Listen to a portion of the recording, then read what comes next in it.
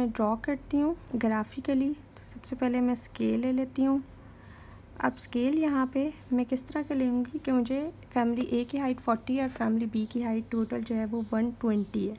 अगर आप डाटा देखें फैमिली ए का तो वहाँ पे मेरे पास जो है, आपके पास इंफॉर्मेशन गिवन है like one two three and four like that ठीक है?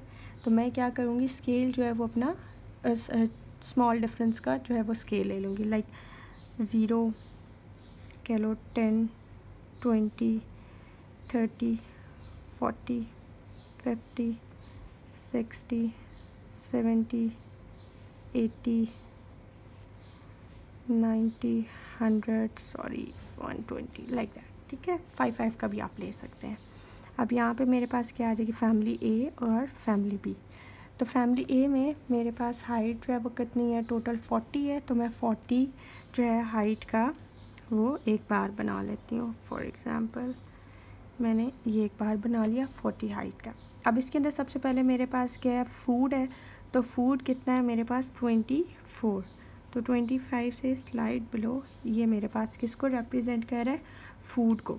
अब यहाँ पे मैं साइड पर लिख देती हूँ। कि ये जो पोर्शन है एम्प्टी पोर्शन, ये मेरे पास किसको शो कर रहा है? फ़ूड को।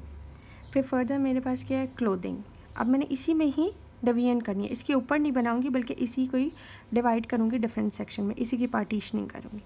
अब क्लोदिंग क्या है? फोर यहाँ से आप नहीं करेंगे।